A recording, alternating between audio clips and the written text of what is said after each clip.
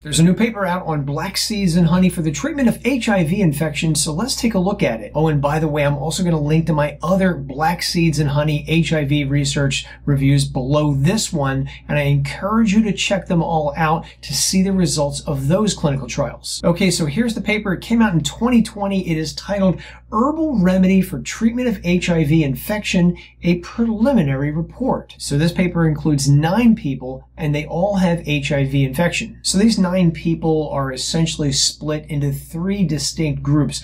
There are two people who were not taking any HIV medications whatsoever, and they only took the black seeds and honey concoction. The next group involves three individuals, and they are taking HIV medications alongside the black seed and honey formula. And then we also have four people who were taking HIV medications for at least a year. However, they had to stop the medications because of side effects.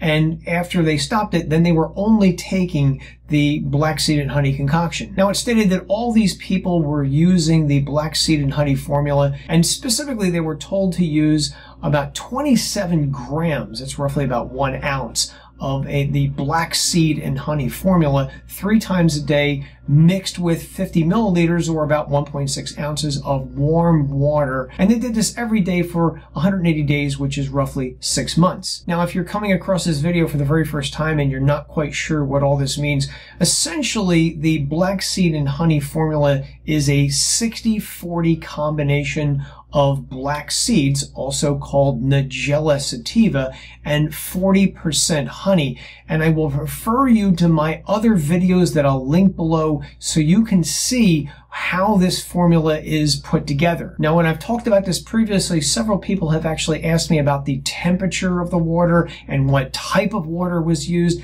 And just like with the other clinical studies, it's kind of hard to figure this out. They don't actually mention whether it's distilled water or it's tap water, and there's no specific mention of the temperature of the water other than the fact that it is just warm water. And also just to clarify further, if you were to go and read this paper, you would see them referring to this black seed and honey combination as AZAM, also called Alpha Zam.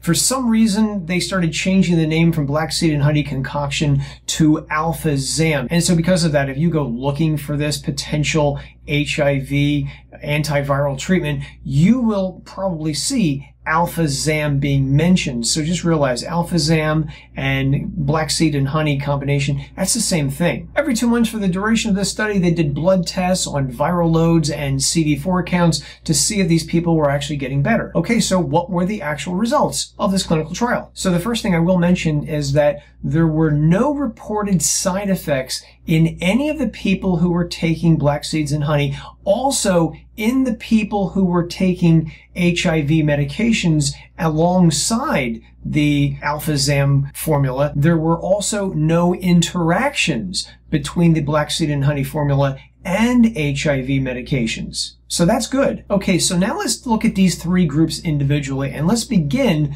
by looking at the two people who were only taking the black seed and honey combination by itself. In other words, they were not taking any medications. Now, if we look at the viral loads of these two people, we see that there was a significant reduction in viral loads in these two people. In one person, the viral load count dropped from about 300,000 copies down to about 110,000 copies. And in the other person, it went down from 300 down to only 54 copies. So that's a pretty significant drop. The other thing to point out is that in one of these individuals, there was also a significant increase in their CD4 count. CD4 is the white blood cell count that is often measured in people with HIV, and you want to have a higher CD4 count. So in one of these individuals, the CD4 white blood cell count did increase. It increased from 193 up to 354. However, in the other person in this group, we did see a little bit of a change.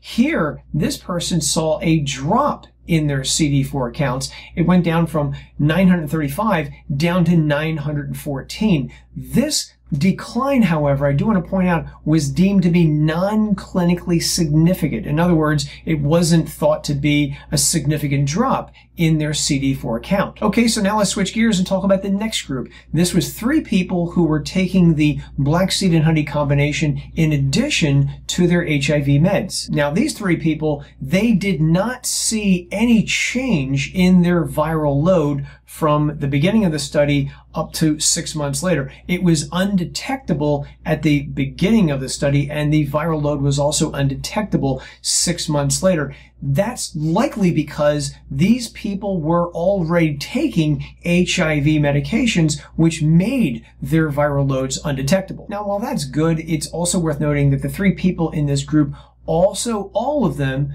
tested seropositive for the HIV virus. In other words, even though their viral load was undetectable when they performed other tests, you could still detect antibodies to the HIV virus. And I think that's interesting because if you go back in one of my other videos to the very first study of this black seed and honey potential cure for HIV, you find that one person became seronegative. In other words, they didn't have any detectable antibodies to the HIV virus. In fact, in that paper, they actually called that person the ex-HIV patient. Now, at the same time, I do want to point out that the three people in this study, they did see rises, increases in their CD4 white blood cell counts. And if you look at this graph, you can see that the three people that they denote here by as G1, G2, and G3, we see that for G1 and G2, they saw significant increases in their CD4 white blood cell count. However, the other individual, which they call G3, did not see a significant rise in CD4 counts. It did go up, but the increase was deemed to be non-clinically significant. Now that's good. However, I do want to point something out to you that I noticed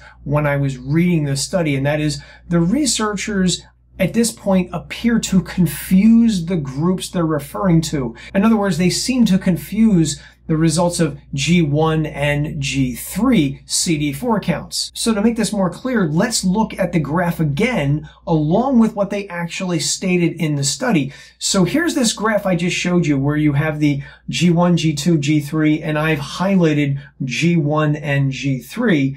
However, if you look at what they said in the study, they seem to be confusing the G1 person and the G3 person because they're saying the G1 increased from 1097 to 1200, but that's the G3 person that is referred to in the graph.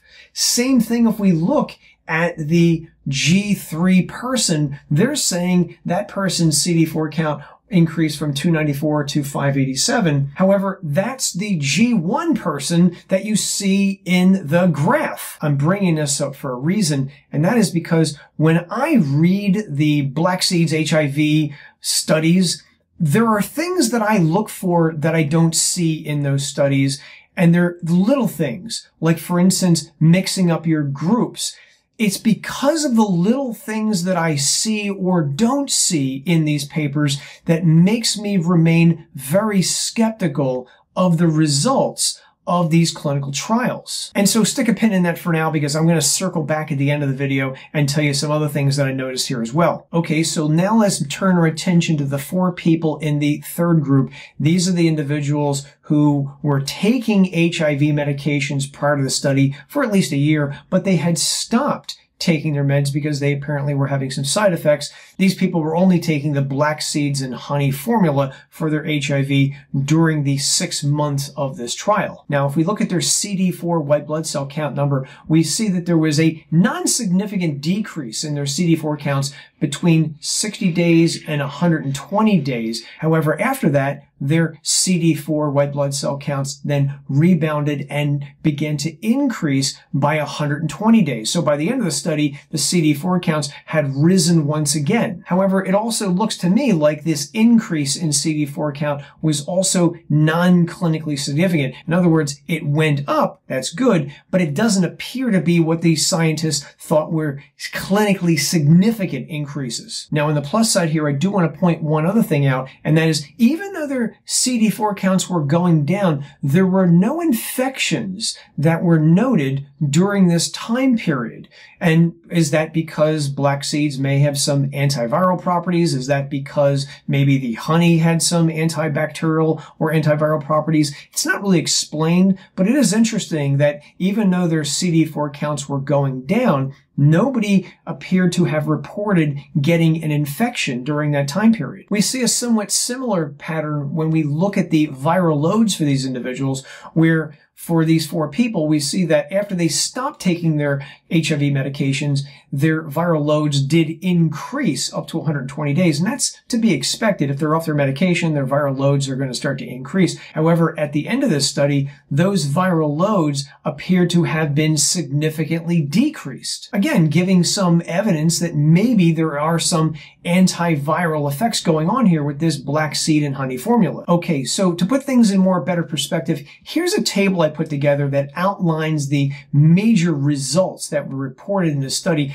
to give you a better idea of what the major findings were. And feel free to stop this video and take a closer look at what the major findings were. So this study also provides some very intriguing results for what happens when people with HIV take this black seed formula. But there are some problems with this investigation that I want to call your attention to. And that is number one, this was a small study, only nine people. And that's kind of similar to a lot of the other studies I've seen on this. Again, check out my other videos below for what those investigations look like. Another problem is they don't tell us who these nine people were. Were they men and women? Were they only men or are they only women? We're not told. Also, we don't know the ages of these people either. Something else is that there's no specific brand of black seed or honey that is mentioned in this study or the other clinical papers as well. And I bring that up because that's a question that I often get asked by the people who've seen my other black seed honey videos.